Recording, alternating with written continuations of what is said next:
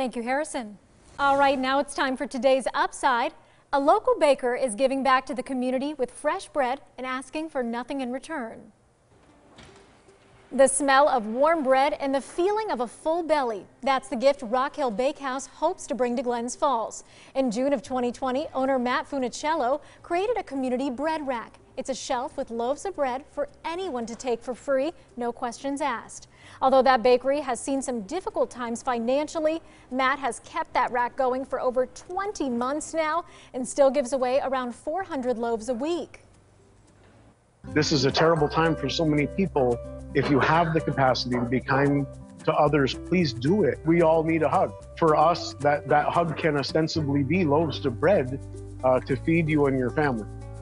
Matt does get help from his hardworking staff, who also donate much of their time to making that rack happen. He says the work is all worth it, though, to see those families in the community stay fed.